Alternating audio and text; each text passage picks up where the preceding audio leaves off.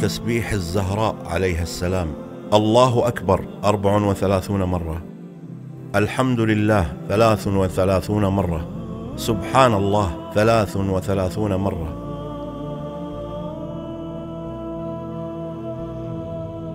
فضل تسبيح الزهراء عليها السلام.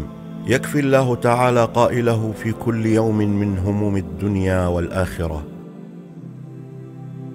هي مئة باللسان وألف في الميزان وتطرد الشيطان وترضي الرحمن.